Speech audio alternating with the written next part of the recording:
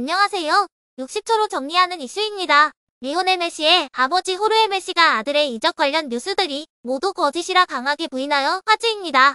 지난 9일 프랑스의 한 축구 관련 매체는 메시가 이번 시즌 종료 후 막대한 연봉을 받는 조건으로 사우디아라비아 알힐랄로 이적할 예정이라 전한 바 있습니다. 이후 다수의 유럽 매체들이 이 소식을 전하며 이적설에 기름을 부었습니다.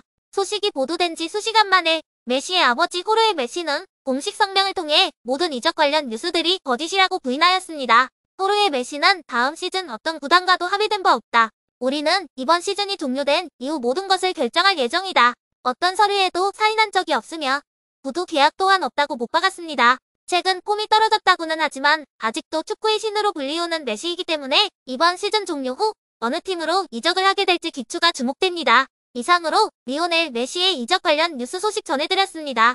더 자세한 내용은 고정 댓글 링크를 통해 보실 수 있습니다. 구독과 좋아요 부탁드립니다. 감사합니다.